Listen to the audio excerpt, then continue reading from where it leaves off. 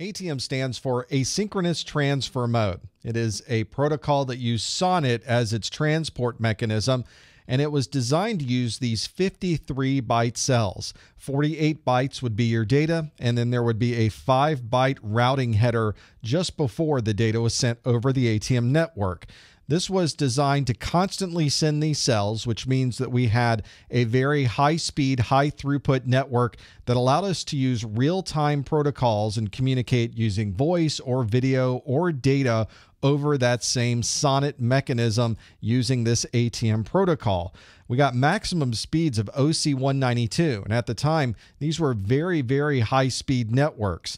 We had to limit the speeds because every time you would pull the data off of the ATM network, it had to be segmented to put on and reassemble when it came off. So there was a bit of overhead associated with that. ATM did not really catch on as we thought it might. We ended up having higher speed Ethernet take over on the LAN, and ATM really was never able to make the jump on the WAN side. On our wide area networks, we used to put up circuits from one point to the other, and these point to point T1 or T3 links were nailed up, and we'd have them up and running all the time, whether we were sending traffic over that link or not we started to replace these point to point T1s with something that was a little more flexible called Frame Relay. In Frame Relay, we encapsulated our LAN traffic into these Frame Relay frames and we sent them into what we called a Frame Relay cloud.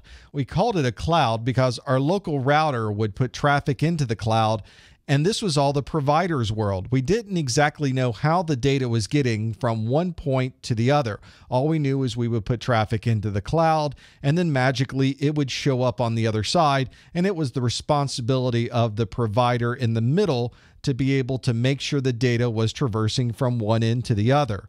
Now, we didn't exactly understand what happened inside of the cloud, but we knew that we were using the bandwidth in the best possible way because if we weren't using the connection, somebody else was using that connection, and that kept the cost down, certainly less than paying for a T1 or a T3 connection that was always being connected all the time whether we were putting data over it or not.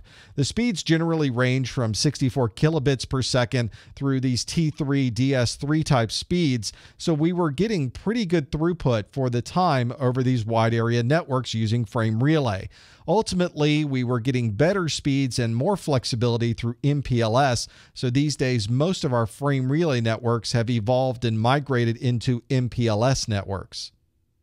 With MPLS, we took the best part of ATM and the best part of Frame Relay, and we put all of those things together to come up with a brand new wide area network mechanism. This allowed us to package up data, send it across the network, and we were able to direct where the traffic goes based on something called an MPLS label. This also made it very easy for the end devices on the MPLS network to know exactly where the traffic was going because it had a very easy to follow label. This allowed us to put really anything inside of this transport mechanism. We could put IP information, we could put ATM cells, we could put Ethernet frames, and we were able to run this across a very common MPLS network. So that really isn't layer two, it's not layer three, it's somewhere in the middle if we're looking to figure out where MPLS goes on an OSI model. You're going to find MPLS in many places. This is really the default for wide area networks these days. If you're not running just a standard Metro Ethernet, it's very common to see an MPLS network. This routing process on an MPLS network is called pushing and popping when we're putting information onto an MPLS network, we push a label onto it and we put it into the MPLS cloud. This is a good example of taking information coming from a customer edge router, connecting to the first provider edge router on the MPLS network, and pushing the route onto that connection. It then finds its way through the MPLS network, and on the outside, it pops off the labels and provides the original traffic back to the customer edge router, and the process is repeated to go to the other side.